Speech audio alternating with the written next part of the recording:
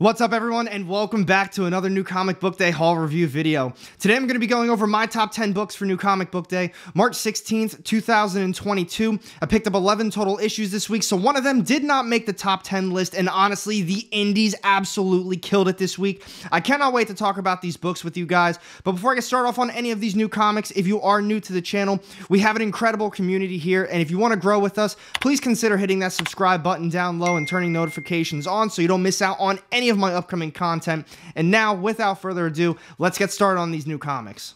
All right, everyone, I hope you're all having a fantastic day so far today and you were able to pick up all of your new comic book day books on time. So I read everybody's comments from last week's video about whether I should continue on with a top 10 list, if you want to see a more reviewed styled video, and everyone seemed a little split.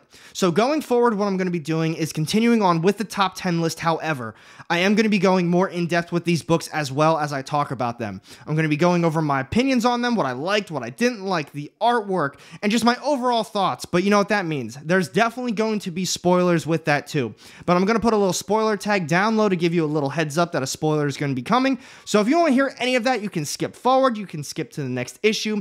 And I appreciate all the feedback and you guys just bearing with me as I figure out how to put out the best possible content and what you guys actually want to see.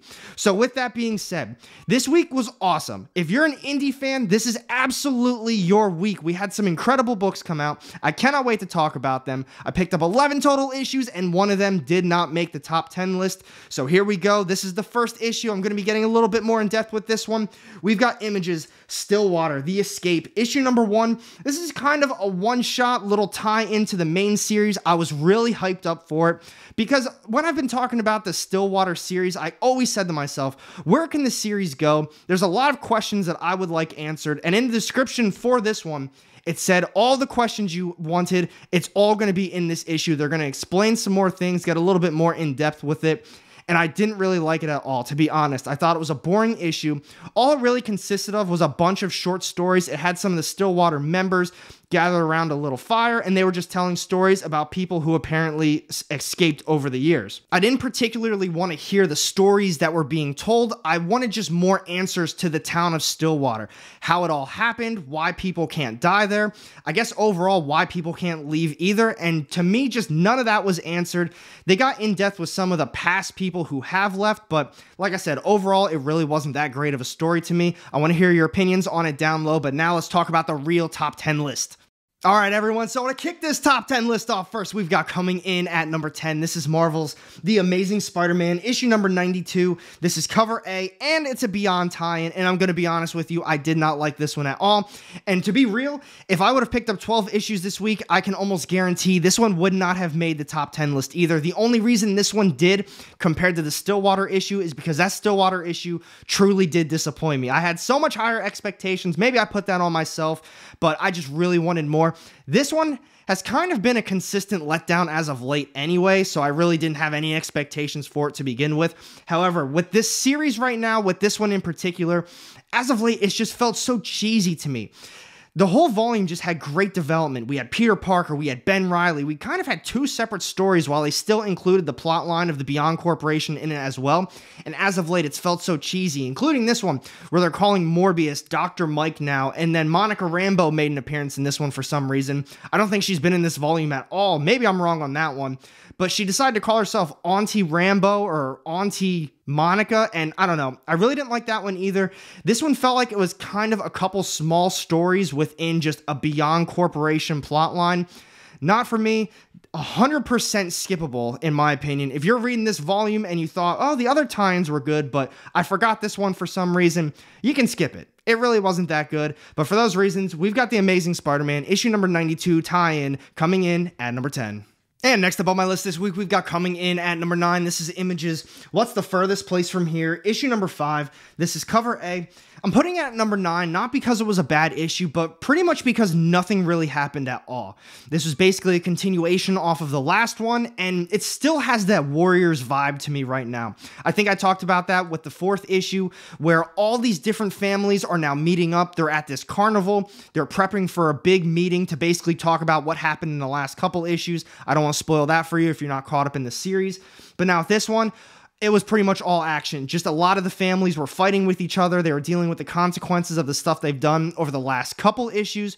We did see some other really cool stuff happen too, but outside of that, really no plot progression. Really not a whole lot of stuff happened. We did get left on a nice cliffhanger though, so I'm excited for the sixth issue. I'm still sticking with this one as of late, I have really liked it. I think starting at issue three and then four, I thought those were fantastic issues. I thought the meeting was actually going to be in this issue, which could have tied into my bias a little bit at putting at number nine. I had a little bit higher expectations. It was still some cool action stuff and a little bit of other things happened, but I basically was just really excited to see where this meeting itself goes. So for those reasons, we've got What's the Furthest Place from Here, issue number five, coming in at number nine. And next up on my list this week, we've got coming in at number eight. This is Boom Studios Basilisk, issue number eight. This is cover A. This really wasn't a bad issue, but I was expecting more out of it. Not a lot of stuff happened at all. We barely had any action. There wasn't a lot of plot progression or storyline in this one. It was honestly just the characters kind of talking amongst themselves, trying to figure out where to go next or what to do next. And we've got our two main groups still. We've got Vanessa and her little cult that's following her that believes that she's a god. They're going their own way, but at the same time, now that she took the other Chimera's powers, she can still talk to Reagan and kind of give her clues as to where she is because, you know, we're gearing up for this big battle between them both. Speaking of that, then, we have our other group still. We have Hannah and Reagan, and they're pretty much trying to figure out what to do next. Hannah is completely messed up from that latest battle, but she's still all about trying to take them down. Like I said before, we didn't get a lot of action, we didn't get a lot of story plot development, but something does happen towards the end. I want to leave it as a cliffhanger for you guys because you got to read this one for yourself. I'm a big fan of this series. I think Cullen Bunn is absolutely killing it. But the one thing I do love about this series right now is that the artwork just pairs so perfectly well with the story that he's trying to tell. Let's talk about this one down low because honestly, I'm still talking to a lot of people who really aren't that big of a fan of this series. I am though. So for those reasons, we've got Basilisk issue number eight coming in at number eight. Next up on my list this week, we've got coming in at number seven. This is Marvel's brand new ongoing series. We've got Carnage, issue number one. This is cover A. This is written by Ram V. I was really excited for this one. I was keeping my expectations pretty low. I mean, it's a new Marvel series. I typically don't go into them with a lot of high hopes. But you know, this one was pretty cool. I like the way it started off. It seemed more like a detective series in the very beginning. From there, though, we got who the bad guy is or the, the killer that's looking for Carnage. So it wasn't a huge mystery, but that's kind of how it started off. But the one thing that I really didn't like about it is while I started to get into this story, all of a sudden we got left on to be continued. And it picked up with this kind of short story that was a couple pages, and then we capped the whole issue off with just this one page short story. So I think if they would have focused more on the actual Carnage issue itself and really developed the series a little bit more, maybe we saw who this detective was, we got a little background story on him, the killer itself, and in kind of the other things that Carnage has been up to, I would have been a little bit more drawn into this first issue. I really liked the artwork. I thought that was well done. But like I said, the one turnoff that I had on this was basically we got left on that to be continued for this little story that probably won't play a role into anything. And then we finished it all off with this little tiny one page thing that really didn't mean anything. I want to hear your opinions down low, but for those reasons, we've got Carnage issue number one coming in at number seven. Next up this week, we've got coming in at number six. This is Scout Comics' brand new series. We've got Playthings, issue number one. This is cover A. I'm a big fan of Scout Comics. I love when they come out with a Black Caravan title. I usually try to pick them up every time they come out. This one wasn't on my pull list. I really didn't expect to be able to get it because at my shop, books like this, they're usually already pre-ordered. The ones that we get in are typically already slotted for people. So when I saw it on my shelf, I was like, yes, I'm definitely snagging this one. Did not let me down. I was a big fan of this first issue. The one thing I will say about it though is I really wasn't a big fan of the artwork. However, while it really wasn't for me, it went very well with the story that they were trying to tell. It was a dark, gritty story, and just the the sketch artwork that was in this story, it worked well with it. Like I said, just not my type of artwork, but it did go well with the story. Now, the issue itself, we didn't really get an in depth view of who these characters are. It kind of just jumped straight to the series itself. Pretty much where the story is going to be going, it jumped right to it. We've got, I guess, a couple main characters, but it focused on the mom and daughter the most. They don't really have a good relationship with the father or the new girlfriend, but out of nowhere, this clown kind of shows up. And because of the, all the fighting that was just happening before that between the mom, dad, brand new girlfriend, the mom thought that the dad dropped this clown off because she's very scared of clowns. As the series progressed, some weird things happen. It kind of seems straight out of a horror movie, but they find out that the clown is alive. That's where I'm going to leave this one. Like I said, it started off strong and just kept going on with the series. Highly recommend this one. Scout Comics has another good one on their hands. If you haven't checked out Scout, definitely do. They've got a lot of really good stuff. You guys know I'm a big horror fan, so if that's more up your alley, definitely check out their Black Caravan titles. They always have deals going on on their website as well. But for those reasons, we've got Playthings issue number one coming in at number six. And now we're down to the top five issues of the week. We've got coming in at number five this week. We've got AWA's The Crimson Cage, issue number four. This is cover A. We've only got one issue left, and this issue set everything up. I thought the last issue was a great setup. It almost felt as though this one was kind of a fresh story after everything that happened from the last issue. It's not a completely new thing. We still have our two main characters. We've got Chuck Frenzy and his wife, but now with this one, everything that happened in the past about him getting kind of what he wished for about having the title, being top of the world for wrestling. This one was more of a we're bringing everything down on him right now. They kind of explained to him that he's going to be losing the title in this big, massive Crimson Cage battle. And that's where everything clicked in his mind, and he said, No, I can't lose everything. This is what those witches were explaining to me.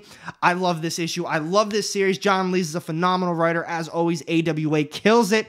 But for those reasons, we've got the Crimson Cage, issue number four, coming in at number five. Next up, folks, we've got coming in at number four. This is Image's new series. We've got Slumber, issue number one. This is cover A. This is another one that wasn't on my pull list. It was a very last second pickup. I remember doing the previews video on it. I remember the solicitation. I thought, you know what, it's probably going to be up my alley. And plus, when I saw the cover and it had all this gore on it, I thought, yeah, I'm definitely going to be picking this one up. As soon as I started reading it, it pulled me in immediately. Now, I don't want to call it kind of a knockoff story but it really gave me some Nightmare on Elm Street vibes. So, right now, we have a series of murders that are going on, but they can't figure out who's doing it. They have no idea. But all of the people who allegedly killed all these other people are saying, I don't remember what happened. I was sleepwalking and I just kind of woke up and here it is. So instead of pretty much Freddy Krueger killing the people in the dreams, it's this monster is coming to them in the dreams and they have no idea what they're doing and now they're actually killing the people. I thought it was an awesome story, but then from there it kept getting better and better. So we have our detectives who are trying to figure out all these murders, but we also have this weird agency that gets hired to go into people's dreams to kill the monster that's kind of haunting their nightmares. I thought that was really cool too. We got some really off the wall artwork in this one. I loved it. I highly recommend this one. This is going to be such an awesome series from Image. Definitely check it out. But for those reasons, we've got Slumber issue number one coming in at number four. And now we're down to the final three issues of the week. We've got coming in at number three this week. This is Image's new one shot. We've got The Clay People Colossus, issue number one. This is cover A. I didn't really know what to expect when I picked this issue up, but it was fantastic. As far as a one shot goes, this felt so complete. We just had a nice intro, background on all these characters, background on just what they were trying to accomplish. So we had a nice beginning, a nice middle, and the ending was extremely satisfying. I highly recommend this one. If you read Ablaze's series, I believe it was called A Walk with Monsters or Walk with Monsters, it actually had kind of the same concept. It just didn't take place way back in the day. So with this issue, we have our main character. He's a brand new kid at this school and he gets made fun of. He gets picked on constantly by bullies, but these just aren't regular bullies. These are kind of more guys who are willing to actually go above and beyond and kill people and actually severely injure people as well. So he's trying to figure out how to just deal with these bullies without potentially getting killed. And he's got his grandfather. He's got this book from back when he was in a concentration camp, and it summons this right here the clay people, the golem. And that's what reminded me of the Walk with Monster series from Ablaze. This one, though, from there, you know, he's got his book, he's trying to summon this golem, and as I said, it felt very complete. This was a very nice read, and I really enjoyed the artwork. If you did read this one, if you read the other series as well, let's talk about it down low. We can see, you know, the kind of the similarities between them, the differences. But seriously, if you had a light week or you're a big indie fan, you were kind of on the fence because it was a one shot, definitely try this one out. But we've got coming in at number three, The Colossus. And next up this week, we've got coming in at number two. This is Scout Comics' new series. We've got Rad Wraith, issue number one. This is cover A. This is also from their Black Caravan. Scout Comics killed it this week on books. This issue was phenomenal. But before I get into the issue itself, this cover, the cover feels so good in your hands, just like the other one did. All Scout Comics Black Caravan stuff feels great when you're holding it. It just feels very quality. But this is a wraparound cover. It's extremely nice. The artwork was very well done too. Just overall, I was a huge fan of this story. This one, though, I am going to be real. I might be a little biased when I talk about this one because, as you can tell from the front cover, our main character is a skateboarder. This isn't our main character, but I'm sure he's going to be playing a big role. But it's definitely a skateboarding issue. So if you grew up as a skateboarder, this one's definitely going to connect with you on a certain level. And our main character, he doesn't seem to be very good at skateboarding. And you know what? Neither was I. And that's why I didn't become a professional skateboarder and I gave up on it. So I definitely connected with this kid. And he gets made fun of. He got bullied because he wasn't as good as the other people, but he's doing what he can to try to fit in. That's where the story takes off. They basically give him an impossible task. And like I said, this is going to definitely be a spoiler. I don't want to get too much into it though. You definitely need to read this one. But he gets extremely injured on it. And everybody pretty much says, oh yeah, he died But that's where the Rad Wraith comes in. We don't know a lot about this character just yet, but he's definitely a monster. And I don't know if maybe he's going to be sticking up for this skateboarding kid who's not very good, or maybe now he's part of this kid. I'm excited for this series. I'm definitely going to continue on with this one, and I do recommend this one, especially if you grew up skateboarding. But for those reasons, we've got Rad Wraith issue number one coming in at number two. And this is it, everyone. My top read of the week. We've got coming in at number one this week. This is Image's, The Silver Coin, issue number 10. This is cover A. I'm sure you guys already guessed it that the Silver Coin was going to get number one. What is a top 10 video without the Silver Coin getting number one or number two? This is a phenomenal issue. I was a huge fan of it, pretty much just like the rest of the series. However, I always talk about this series saying, you know, you can kind of just pick it up. Every issue seems to be, you know, it focuses on the silver coin. You might miss some small things here and there, but for the most part, you can pick up pretty much any issue and just get an understanding as to where the story is going to be going. However, this one, this one focuses on the Covenant, just like from that last issue. I think it was maybe issue number six. This is part two of that one. We do have a fresh new group of characters. That one took place in the past, giving a little bit of an origin story of the silver coin. This one continued on with that, except it was in present time. We've got our main group, and something just kind of calls our main character out into the woods, and she gets presented the silver coin. But when it's presented to her, she thinks that if she does this ritual, it's going to release the souls. It's just going to, you know, break the chain. But instead, her and her friends released something so much darker and just it was such a fun read. This silver coin is hands down probably my favorite ongoing from Image right now. Off the top of my head, I mean, there's a ton of great ones. We got the Department of Truth, Philadelphia is great, Nita Hawes is an upcoming great one too, but man, the silver coin never lets me down. You got to pick up the trade paperback. You got to find some of these back issues. But as I said earlier, this one is a part two continuation, pretty much off of The Covenant from, I believe, issue number six. Maybe it was issue number five. It was the end of the first arc. But with that being said, we've got absolutely taking the crown at number one, The Silver Coin, issue number 10. So what do you guys think about this week's new comic book day? The indies, hands down, absolutely killed it this week. Image, as always, a phenomenal week. The Silver Coin issue number 10, my top read of the week. Such a good series. I do highly recommend it. Scout Comics, you guys killed it too. AWA, you guys always kill it. I love your stuff. But definitely check out those Scout Comics books if you didn't already do so. And be sure to let me know down low in the comments section which books your top reads of the week were and which ones you think I missed out on. And thank you for watching this video. If you did enjoy it, be sure to hit that thumbs up button. And if you want to miss out on any of my upcoming content, go ahead and hit that subscribe button down low and the little bell to get notified. Every time I drop new content, you won't regret it. And I've got two more videos sitting off the side here with more of my comic book content. Click on one of those and I'll see you in the next one. Have a great day.